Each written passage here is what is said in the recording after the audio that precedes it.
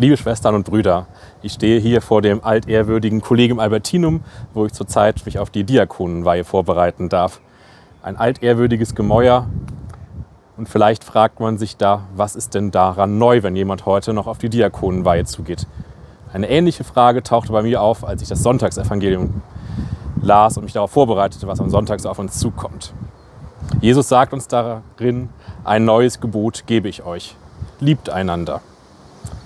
Aber dieses Gebot findet sich auch schon im Alten Testament. Es ist so alt wie die Menschheit, liebt einander. Und doch wird es neu, und zwar, wenn Jesus hereintritt. Es beginnt eine neue Dimension zu entwickeln, eine neue Kraft. Sein Vorbild schenkt eine ganz andere Erfahrung von Liebe. Sein Beispiel ist bis heute für mich antreibend und kraftgebend und schenkt neue Hoffnung und eine neue Energie zu lieben. Und es ermutigt immer wieder, das Neue zu entdecken, wenn wir gemeinsam mit Jesus unterwegs sind, in seiner Nachfolge und in seinen Spuren.